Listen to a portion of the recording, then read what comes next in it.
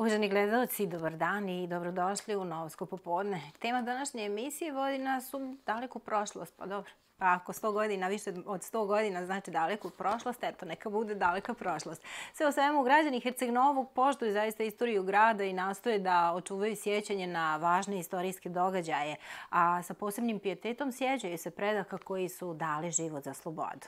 Na današnji dan, 1918. godine, krajem Prvog svjetskog rata, srpska vojska stigla je u Herceg Novi i dočekana kao oslobodilačka armija.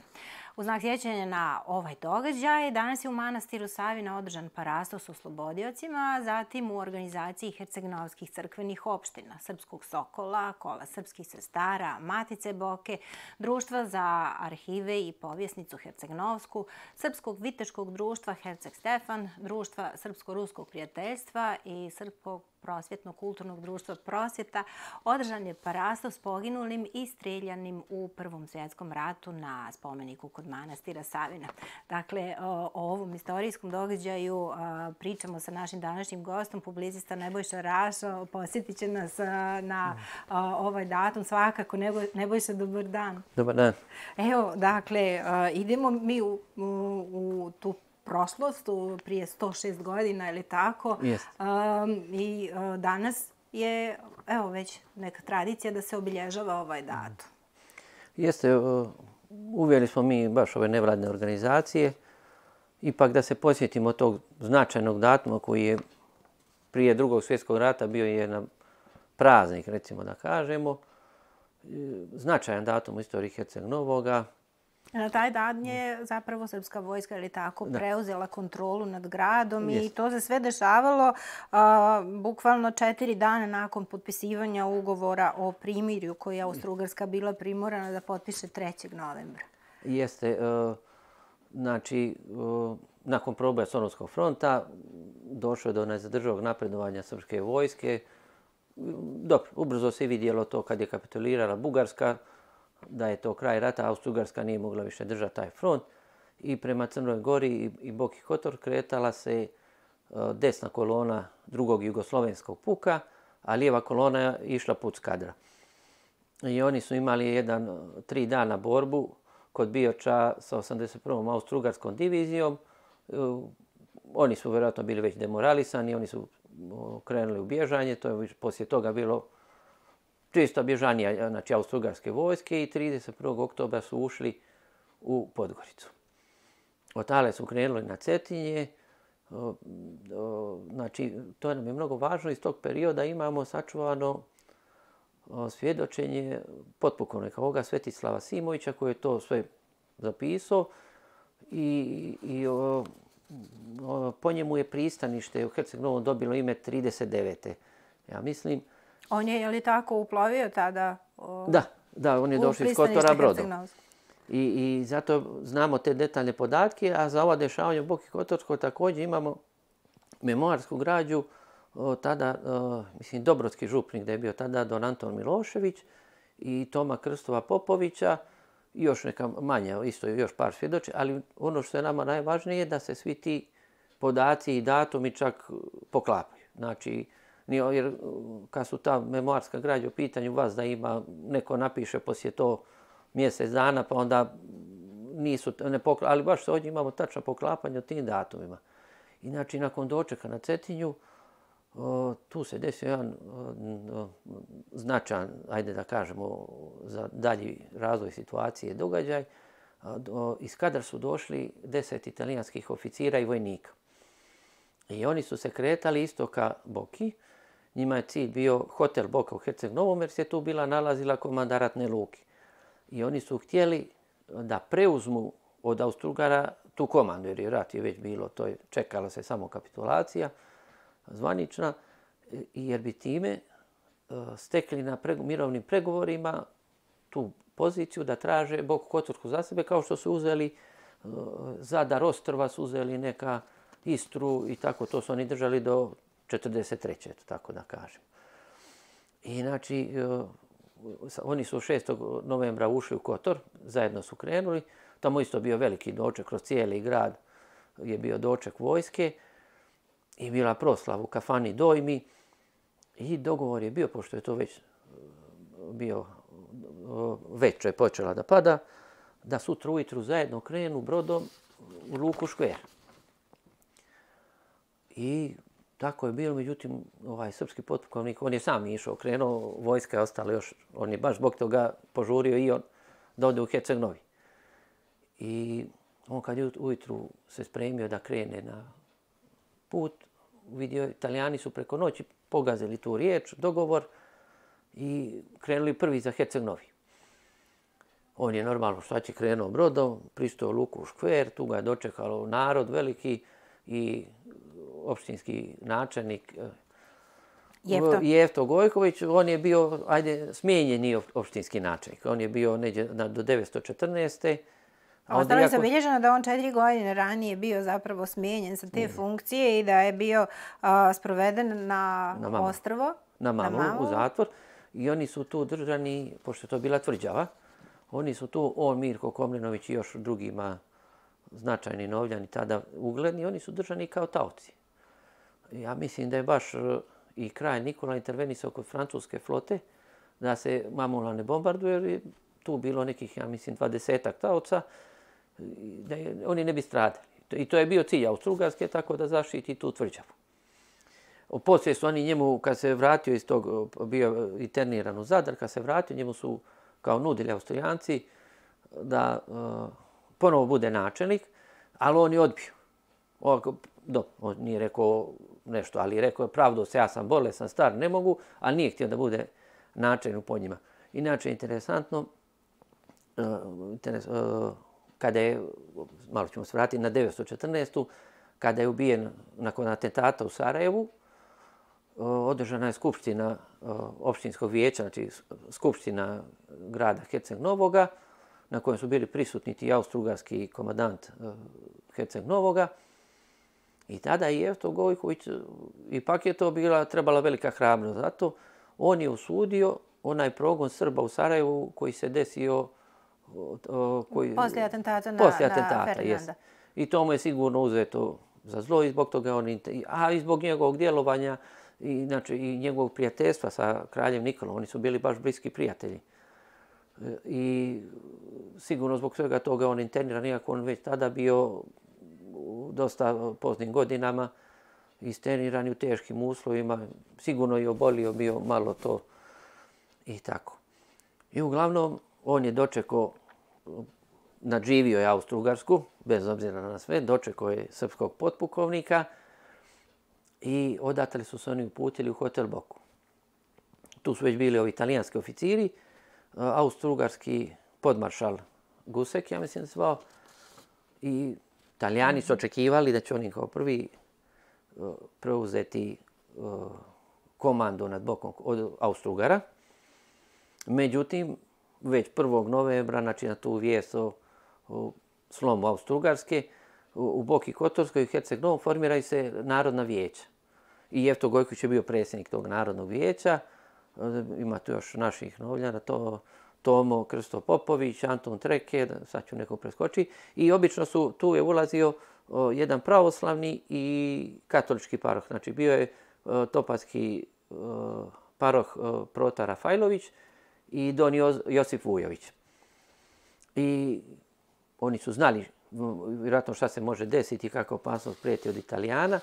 I u toku noći, znači noć u oči 6. na 7. novembar, austrijski komadant je predao komandu Narodnom vijeću. I sad kad je došlo ovdje, on je rekao, ja nemam više komandu, ja sam predao Narodnom vijeću, kaže. I onda ovaj srpski oficir isto rekao, eh, kad je tako, onda I tako je spriječen taj pokušaj Italijana. I u svim tim pregovorima ulazi u, u hotel Boku, u tu salu gdje su oni pregovarali, ulazi jedan uh, oficir poručnik i kaže, ja se izvinjavam, narod se okupio, prijeti da će da provali unutra, da vidi srpskog oficira. I oni su onda ajmo, izašli ispred hotela Boke i tu se, tu se već bila narod veliki koji je klicao i gradska muzika i koja je tom času počela da svira himnu Bože pravde. Naravno, srpski potpukovnik vojnički pozdravio o, o himnu, ali sada je morao i austrugarski. I on je, znači, ima ta fotografija, interesantno je to ostala je sačuvana neko tu slikao, baš taj srpski potpukovnik e, pozdravlja austrijski, austrugarski maršal i Jevto Gojković se tu vidi na toj fotografiji. I to narod kaže, mislim, e, pobožno i gologlav, kako je napisao Tomo Krsto Popović, oslušao je himnu, a kad je himna završila, ona omladina je kaže, uzela srpskog potpukovnika i na rukama ga pronila kroz pjacu. I tako, eto, to su bili ti najvažniji događaj tog 7. novembra i u stvari novembra. To je najvažniji događaj koji je bio ključan. Novembar je bio mjesec koji je bio izuzetno tada. Izuzetno, 3. novembra je bio veliki skup na Belavisti. Mm. Danas smo, u Parastos je bio u hramu Svetog Arhangela Mihajla na Belavisti. I zato smo tu održali jedan istorijski čas. Baš i, i ova, baš je, baš je taj novembar bio interesantno. Tek 11. novembra došao prvi odred srpske vojske. E, formirana neka lokalna straža, ipak e, kako i biva kad je ta prelazna vlast Austrugarska se povlačila, znači bilo je divljanja, pljačkanja, tako da su oni morali održavati, neko je morao održavati red i mir. Herceg-Novi, to se zna, naravno iz istorije, Herceg-Novi je dakle i prije rata i tokom rata bio pod Austro-Ugarskom, i, ali zato je dugo vremena zapravo i njegovana ta a, slobodarska ideja da, da. i um, jugoslovenska da, ideja da. isto tako i a, na njoj su zaista predano radili duže vremena a, znameniti novljani, evo između ostali, kako ste rekli, mm. a, a, Jefto Gojković, pa onda potom Mirko Komnenović mm. dok je još bio u Rusiji ili tako, mm. pa onda Poznanović u Latinskoj Americi um, i nastojali su na svaki mogući način da animiraju što više ljudi i da zaista dočekaju yes. o, znači, izlazak i, od, o, i oslobođenje od Austro-Ugara. Yes. Znači, Jefto Gojković je napisao, izvinjavam se, Mirko Komnović ima na mm na njegova autobiografija i kaže, pred prvi svjetski rat, kaže, nije bilo kuće u Herceg-Novom, kaže, koja nije imala sliku ruskog cara, kralja Petra i kralja Nikole. Znači, eto, to samo govori o tom raspoloženju, jer Austro-Ugarska je, moramo reći, ostavila veliki trak.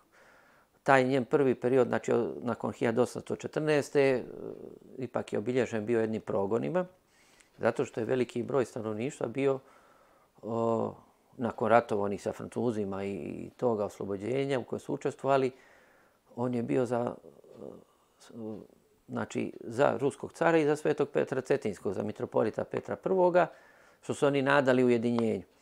Međutim, po tom dogovoru Boka je pripala Austriji tada i austrijska vojska je došla, nije se, znači nije bilo ni smisla pruža neki otpor, ali svi ti ljudi koji su bili, baš tako oni, oni njima kažu, nepodobni ljudi, zato što su odani mitropolitu Cetinskom ili rusko, ruskom caru. Znači, i oni su i zatvarani, došli do progona, bio je baš težak period, čak je bio i pokušaj Unije 1822. jedan i baš po pitanju sloboda, težak period, dok druga polovina 19. vijeka donosi pomalo popuštanja i, i značajna, značajna popuštanja do 1914. Tada Austro-Ugarska, ovaj period moramo ipak naglasiti, jer je stvarno, bez obzira na sve, Herceg je tada i uređen, iako je to bilo mnogo manje nego ostali dio carstva, ali ipak e, dosta se gradilo, podizale se crkve, došlo do nekih sloboda, izdavani su časopisi i, i ti časopisi su na neki način e, propagirali, da kažem, ovu ideju u južoslovenstva, oslobođenja srpstva, pogotovo ovoga e, srpskih krajeva koji su, bili pod Tursko. Turskom. I tako da bi 1914. došlo do naglog preokreta, do progona, travičnog to zatvaranja ljudi, ne samo na mamoli da su zatvarani kao taoci, nego su njih držali na mostove.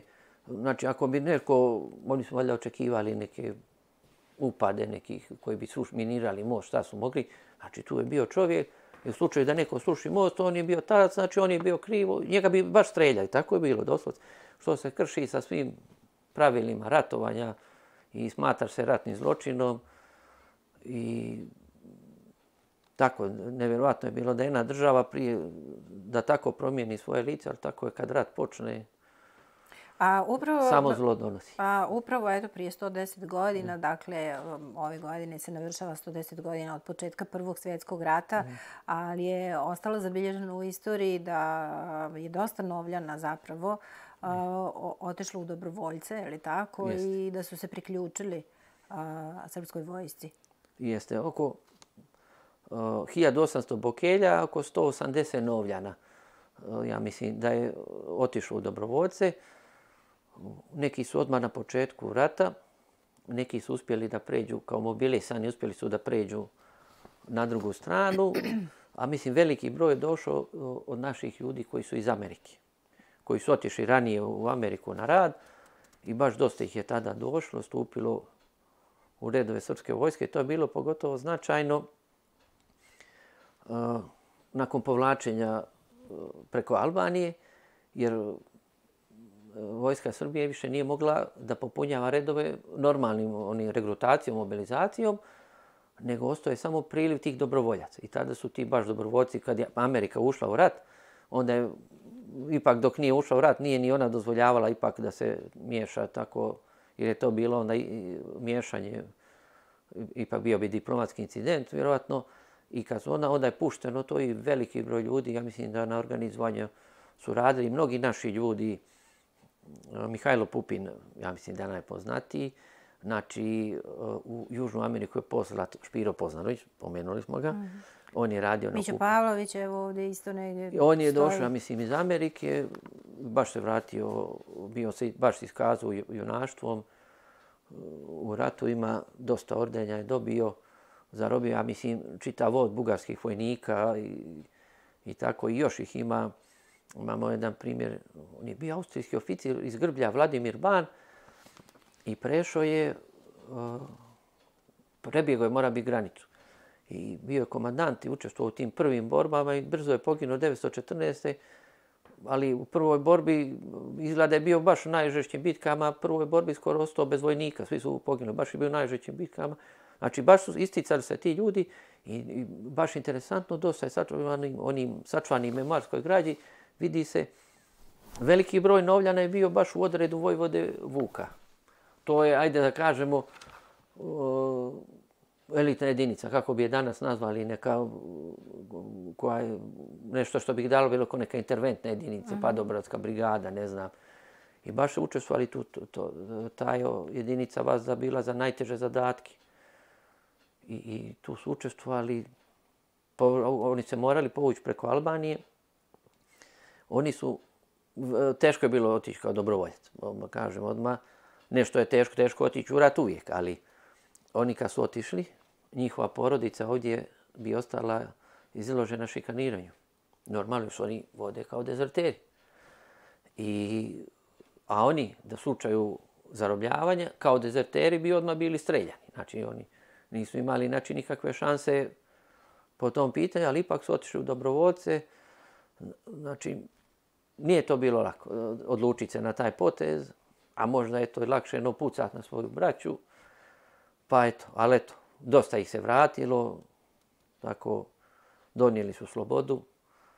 A, jesu li se mi njima na adekvatan način a, ajde nećemo reći odužili, ali da li ih pamtimo onako kako treba?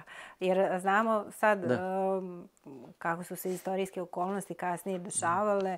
Um, jedno vrijeme dosta toga je palo u zaborav, ali evo sad posljednjih godina zaista, evo između ostalog i um, evo sve ove navedene uh, mm -hmm. i nevladine organizacije, brojni su se udružili da se zapravo uh, obnovi sjećanje na sve ove ljude koji su zaista igrali važnu ulogu um, u uh, eto, slobodarskim tim nekim takovinama uh, i naše grade. Pa jeste, nažalost, između dva svjetska rata nije bio sastavljen čak ni spisak poginulih nema, znači ni spisak dobrovoljaca da je ostao niđe sačuvan, jednostavno nekako nije se tome neka pažnja posvećivala. Onda je uslijedio drugi svjetski rat, poslije drugog svjetskog rata to nije bilo baš poželjna tema. I tako da se to o, sakupljanju i tih imena dobrovoljaca i poginulih pristupilo tek neđe na samom kraju, ajde da kažemo, 90. godina prošlog vijeka je to već. I, I tada se počelo, ja mislim prva knjiga bila Jova Vlahovića, ali on je imao, to je bio širi organizativni odbor, poslije sa i ja nekoliko imena, na Milan Gulić iz Beograda, jednu knjigu Bokelji, od, ima veliki spisak dobrovoljaca. I tako, svi su pomalo dodavali i došlo se do ovoga broja. Prikupljao se materijal. Prikupljao se materijal, ali uh, veoma teško sa te vremenske distance, jer uh, pogotovo uh, koji su poginuli. Oni su otišli vratno kao mladići, nisu imali, na, koji su poginuli, većina njih nije imala nasljednika i tako su sto godina se zaboravilo, vjerojatno. Ovi što su imali nasljednike, vas da će se neko sjetiti pa će nešto, dodaće se to, ali i baš je to težak, Teško doći Težak do podatka. Težak je bio, ali eto, ipak se skupio, najveći dio imena je skupljen sačuvan i mi smo počeli s ovim organizovanjem Parastosa. Ipak, e, povodom dana oslobođenja u Herceg Novom i dana pobjede, bit sad 11. novembra, dan primirja, kako se zove, zvanično. I eto, na taj način čuvamo sjeće naše dobrovoljce. A ima još odavno smo pokrenuli jednu inicijativu, nije to baš lako da se, ali eto, mi se trudimo, borimo za to, nadamo se nekom odgovoru, da se vrati spomen ploča koja je bila na gradskoj kuli. Šta se dešava sa tom pločom? Evo, Evo kako ste sami rekli, znači, vi i, i, i ostale a nevladine organizacije, dakle, postoji ta inicijativa već neko vrijeme ili yes, tako? Yes.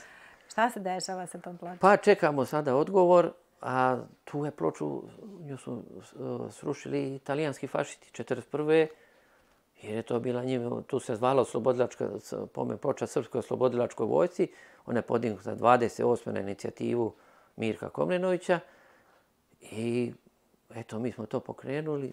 Kako će ići dalje, vidjet ćemo. Naša je želja da to se vrati, ima gdje. I ipak je to to su nam ostavili ti stari novljani ipak. Da li je išta sačuvano ili je ona potpuno ne. uništena pa da se napravi? Nema nikako. Trage, vratno su oni slomili. Dok se onaj bio je na sad kuli, je bio jedan uh, kameni ora, grb Jugoslavije ondašnje, kakav je bio. I to je bio rad jednog interesantno samoukog majstora, Draga Balabušića.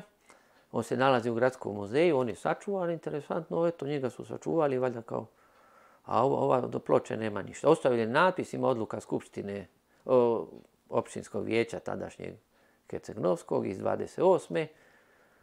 I jednoglasno je to tada usvojeno, bilo je tada i to Skupštini i pravoslavnih i katolika. I podignuta ta ploča, ali ona je smjetala italijanima kad su došli, A evo vidjet ćemo, hoćemo li uspjeti da je vratimo. Mi se, mi se trudimo, mi se borimo za to i nadamo se. A, a evo, umeđu vremenu, dakle, dok a, postoji ta inicijativa a, i dok ne vidimo rezultat, šta će se dešavati, a, između ostalog, evo i na ovakav način, poput ovog pa današnjeg parastosa, nastojite a, svakako da, da a, se prisjetimo šta se to dešavalo, nove generacije da nauče nešto iz istorije ili tako. Postoji niz aktivnosti tokom godine zapravo koju vi, vi pokrenete i možda da istaknemo neke pored ove današnje. Pa imamo dosta ovih naših aktivnosti. Eto, da kažem, sad smo nedavno smo končali ovaj literarni konkurs mm. deseti. Profesor Vuko Velaš, za učenike Hercegnovskih osnovnih škola za rad pisa na srpskom jeziku i čirilicom. I tako uspješno smo njega realizovali. Drago mi je, ja kažem, jes, i za očuvanje srpskog, u cilju očuvanja srpskog jezika i sjećanja na profesora Vuka Velaša, ali i nagrađivanja odličnih učenika. Ja, I to sam i rekao, ja mislim, bilo je to, prenijela je televizija Herceg da bi trebala, pogotovo država, od osnovne škole da nagrađuje odlične učenike. A ipak, e, mi danas vidimo da koliko god e, školovani ljudi, bez obzira, odlaze. Teško je, ali na neki način da im se posveti veća pažnja da bi oni sutra i ostali ovdje i imali gdje da rade, naravno. Eto, i, i to je da napel ovako. Na, Svakako je važno i da stimulišemo te mlade, talentovane ljude a, na svaki mogući način, mm -hmm. kako ste sami rekli, dakle, ne. i naravno i da se školuju i a, da svoje znanje, yes. tako, yes. ugrađuju svoje zemlje. Yes. Imamo, dobro obilježavamo sjećanje uvijek na 24. mart na bombardovanje 1999 vas obilježimo na neki način našu slavu na svetenje gospodnje tada je e, bila osnovana. Od tada je bila osnivačka skupština obnovljenog srpskog sokola. Srpski sokol je znači osnovan 1910. I tako učestvujemo i u ostalim dešavanjima zajedno sa ostalim ovim našim nevladinim organizacijama, humanitarnim i, i naravno ovo, tradi, čuvamo se očuvanje tradicije srpskog naroda u Boki Kotorskoj. A, Njeboša, hvala vam velika. Evo sad i što ste odvojili vrijeme. Pa evo današnju temu, morali smo se zaista podsjetiti šta se dešavalo. nekada nas učbenici iz istorije onako ostave uskraćeni za neka dešavanja, mhm. pogotovo kada je u pitanju lokalna istorija. I ovo je još jedno nastojanje da se mhm. malo više sazna i o lokalnoj istoriji. Znamo onako da, da udžbenici istorije mm. nekada i ne sadrže sve priče koje su... Pa i ne mogu sve da sadrže, Tačno pogotovo tako. lokalnu istoriju. Tačno jest. tako. Tako da, evo, i ovo sad mm. vi što radite zapravo je a, jedan doprinos tome a, i naš mali da se prisjetimo mm. a, zaista nekih važnih dešavanja, a, pogotovo za Herceg-Novi važnih i za Boku. Mm. Hvala vam velika što ste bili naš gost danas. Hvala vam na pozivu. Uvaženi gledalci, hvala i vama na pažnji. Vidimo se mi ponovo sutra u ovom istom terminu. Neke nove priče nas očekuju, a vam želim prijatan ostatak dana. Thank you.